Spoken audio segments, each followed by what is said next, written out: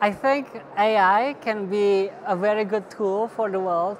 A lot of professions can really um, be more productive with AI. For example, doctors can use AI to recommend them new uh, medical practices or new uh, uh, medicine that they might not uh, heard of before.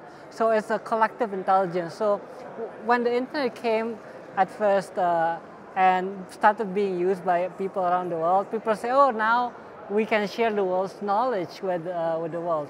But actually, most people don't really have the time to consume the knowledge that has been shared. I think AI can help with that. AI can help um, companies, can help even students to, uh, to excel in their studies. For example, I'm now using AI to write my papers.